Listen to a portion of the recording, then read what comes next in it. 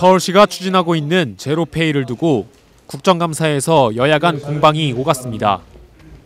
야당은 제로페이 효용성에 의문을 제기하며 강하게 비판했고 여당은 1년도 채 안 된 사업의 결과를 두고 성급한 판단이라며 반박했습니다.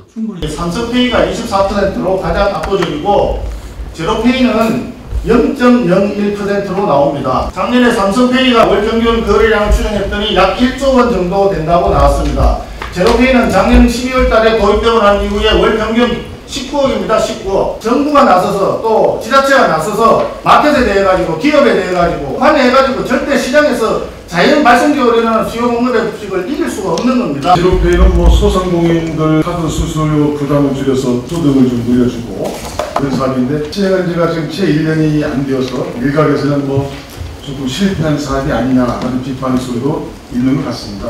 신용카드가 보급돼서 정책되는 게약 수십 년이 걸렸고 카카오페이나 삼성페이 같은 가격도 가맹정보제에 상당한 시간이 걸린 것을 감안하면 제로페이는 생각보다는 빨리 자리를 잡은 편이라 좀 생각하고 있습니다. 도로를 깔아주는 것이죠. 나머지 간편 결제사들이 그 도로 위에 차가 다니는 거나 마찬가지입니다. 경부선 처음에 어, 비용도 많이 들었고 그 효과가 있냐라고 비난을 받았지만 그러고 나서 정말 우리 산업화에 굉장히 중요한 역할을 했지 않습니까? 저는 이런 도로를 낳는 것이다.